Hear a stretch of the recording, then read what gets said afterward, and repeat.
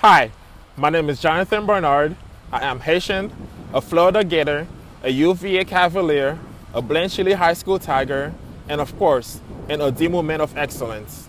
I now work and live in San Francisco, California with Jones Haydu, a small but thoughtful firm in the city, and I get to work on numerous projects from residential to commercial and at different scale from interior remodel to new construction. And I've been with the firm for two years now and have grown and learned a lot since then. And it's funny that my architectural story has a lot to do with my Adimu story. As a pre-engineering student at Ely, I had the privilege and honor of taking Mr. Campbell's drafting class, where during class I would see these guys coming in and out of the classroom wearing shirt and ties and of course the letterman jacket.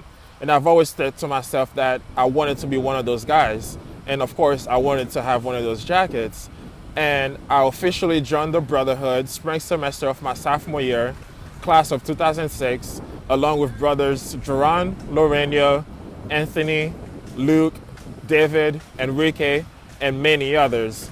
Brothers that I still stay in contact with 10 years later, and we've always had a lot of fun. And even now, when we reminisce about it, these were some of the greatest memories that we had from high school. Everything from the weekly Tuesday meetings wearing shirts and ties to the weekend outings to the college road trip to DC and of course the many many step shows. And of course IHOP and Denny's after we've placed at a step show. And it's been a lot of fun. I wouldn't replace those years with anything less in my entire life.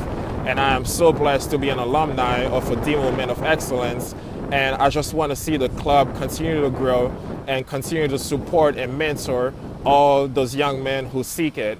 And respect, responsibility, brotherhood, and leadership are all values that I live by on my everyday. Plain and simple. I would not settle for anything less than my best. That's it. That's my Adimu story. And of course, who are we?